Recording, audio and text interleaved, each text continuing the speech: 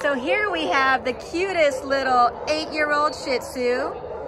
She's white and gray. She's beautiful. Her animal ID number is A5524324. And she's sad because she was owner surrendered to the Baldwin Park Animal Care Center on December 23rd. So tell us about her, Viv. She's a little sweetness.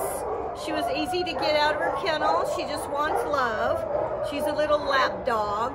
She walks on a leash. She's just real mellow.